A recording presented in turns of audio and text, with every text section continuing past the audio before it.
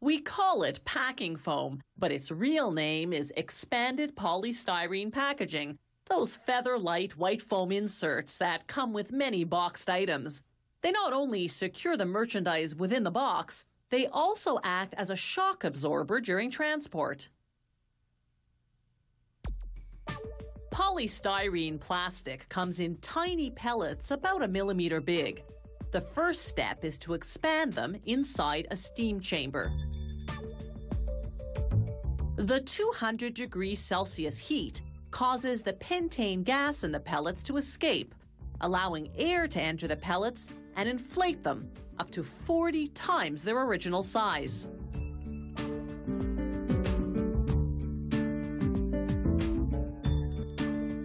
Here are the polystyrene pellets before and after expansion.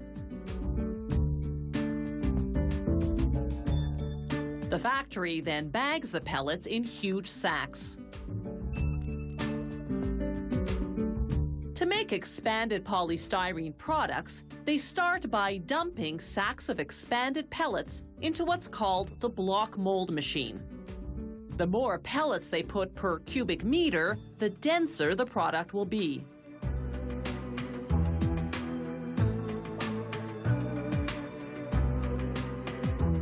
They steam fuse the pellets together, molding them into a block that's roughly 5 meters long by a meter wide by 3 quarters of a meter high. This molding process takes from 5 to 20 minutes, depending on the density.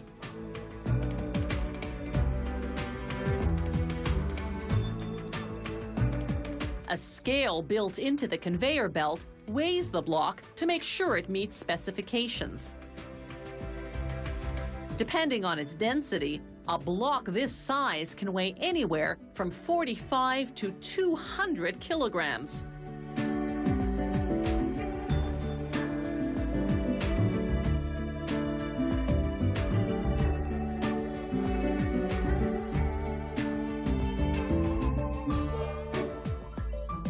Now the block is ready to be cut into whatever product the client has ordered.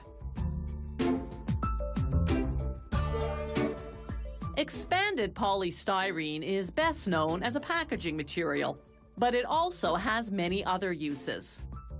Here, they're slicing a block into insulation panels.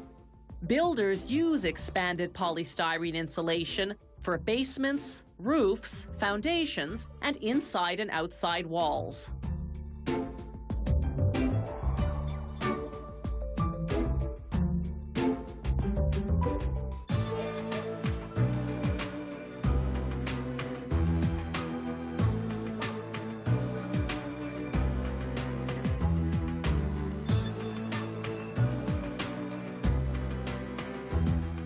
Regardless of the product, they cut polystyrene blocks using a copper and nickel wire that's electrically heated. It melts the polystyrene on contact, enabling fine precision cuts almost to the millimeter.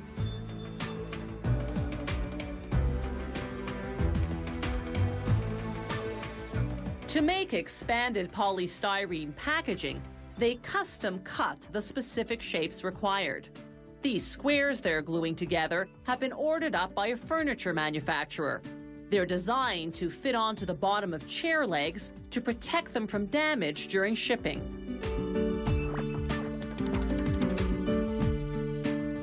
This machine handles more detailed and complex jobs. Its cutting wire is guided by computer software, so it can cut virtually any design.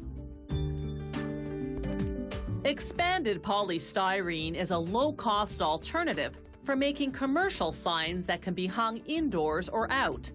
A sign made of high-density expanded polystyrene and coated with a quality exterior paint has an outdoor lifespan of a few years.